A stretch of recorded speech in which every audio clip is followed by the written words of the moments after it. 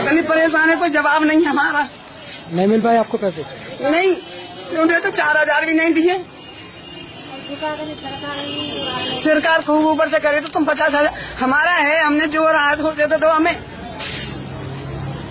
तो पचास हज़ार करे पचास हज़ार भी नहीं दिए। दस हज़ार करे दस हज़ार भी नहीं दिए। और सत्ताईस तारीख की शादी है पता कहाँ से लाने पैसे बैंक को क्या क्या कागज़ कागज़ दिखाए आपने? मेरे पास नहीं है मैं जानती नहीं है शादी का है। क्या शादी का है? बेटी को लाए वो भी भिजवा रही। कार्ड ऊपर रख लो। गार्डन में दिया पहले।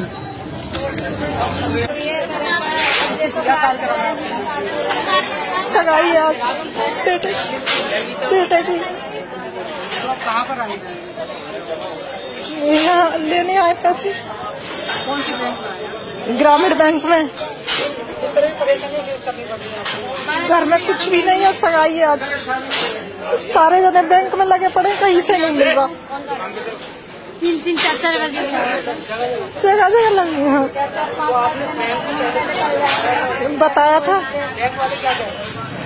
कह रहे हैं हैं पैसे नहीं अभी आए ही नहीं है बैंक में कुछ भी नहीं कहीं से ही नहीं। टोकन देता है टोकन में टोकन दिया है अभी भी सौ नंबर का दिया है सबसे लास्ट में वो सगाई आ जाए टोकन का कितने रुपए निकालने की बात करते हैं? ये दो हज़ार दे रहे हैं बस दो हज़ार की कह रहे हैं कुछ नहीं। दो हज़ार में क्या हो रहा है? आपने नहीं बताया?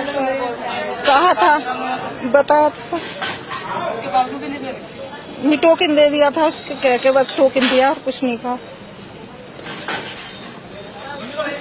यार चार बजे कोई यार? पाँच दिन हो गए मुझे। आपके परिवार में से कौन कौन लोग बैंक में लगे हुए हैं कौन कौन सी मेरे दोनों बच्चे भी लगे हुए हैं देवर भी लगे हुए हैं मेरे घर वाले भी लगे हुए हैं। सभी अलग अलग बैंकों हाँ। कहीं से भी कुछ नहीं